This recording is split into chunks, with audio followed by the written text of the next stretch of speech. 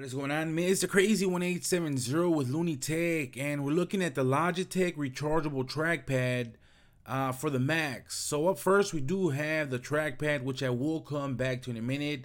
Now we also have a included USB cable, which is used to charge the trackpad, and we also have the standard paperwork, quick start guide, and some warranty info. So here we have the Logitech trackpad which comes in this very familiar plastic and if we look at the side we do have the on and off switch. Uh, here we have the Bluetooth pairing button and some Logitech branding.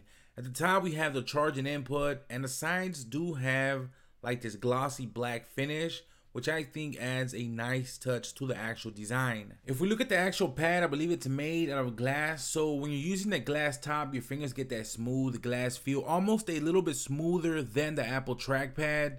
And when you set this up, you are gonna have to download a separate software to adjust all the features. You're pretty much gonna get all the same features and settings as you would get with the Apple trackpad. For example, point and click, you can also adjust the tracking speed, scroll and zoom, and also more gestures.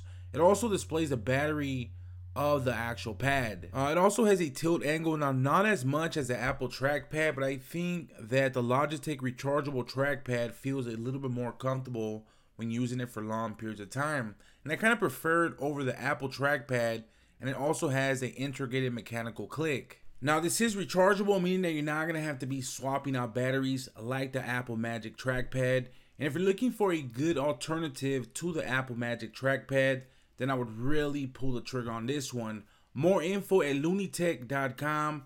Don't forget to subscribe to the channel and the RSS feed. Now catch you guys on the next one. Late.